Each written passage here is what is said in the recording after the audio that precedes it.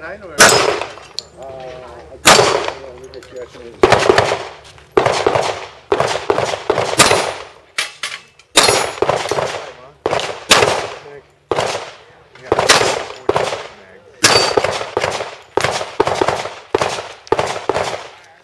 Yep.